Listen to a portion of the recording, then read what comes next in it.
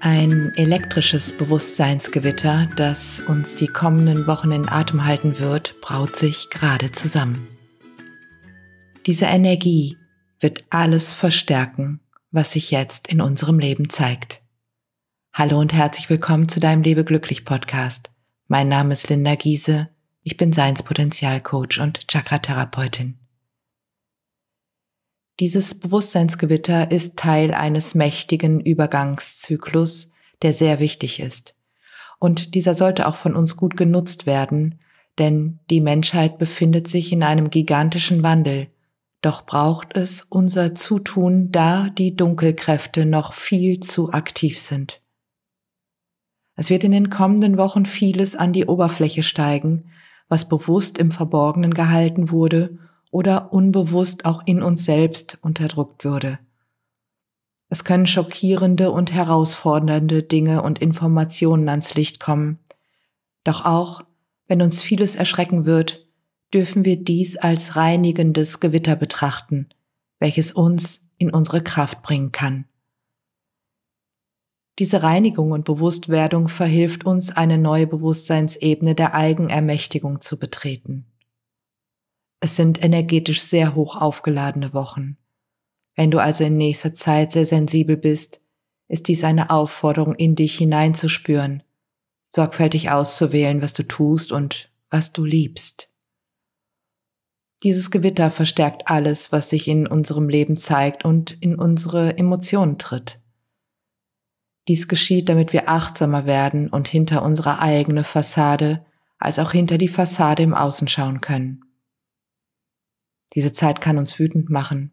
Wir können regelrecht in einen Rausch verfallen und uns für unsere Wahrheit, ja, ein, einstehen.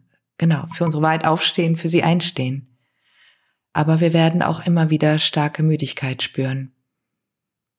Diese Wochen können sich spirituell sehr lebendig anfühlen, aber wir brauchen auch immer wieder Ruhephasen für unser Gleichgewicht und für unsere Erdung.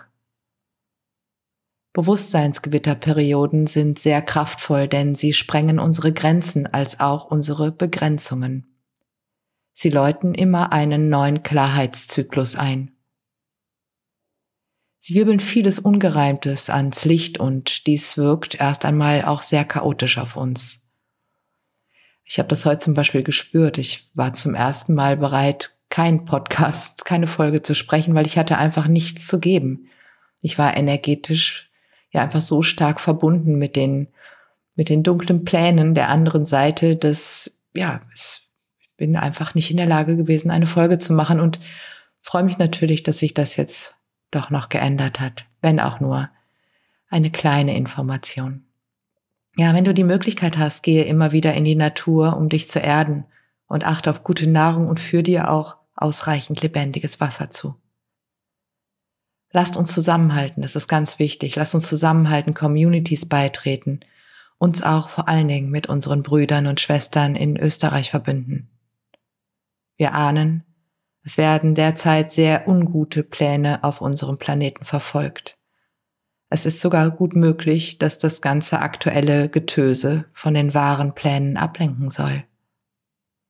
Sind wir so sehr mit dem Aufdecken der Wahrheit, den Statistiken, den Lügen etc. beschäftigt, dass wir leicht übersehen können, was wirklich vorbereitet, durchgeführt und installiert werden soll? Die bewusste erzeugte Spaltung unserer Gesellschaft ist ein ganz wichtiger Hinweis darauf, dass wir als Gemeinschaft eine Gefahr für ihre dunklen Pläne sind. Lasst euch nicht spalten, das schwächt uns. Wir werden unsere Kraft brauchen. In Liebe, deine Schwester im Geiste, deine Linda.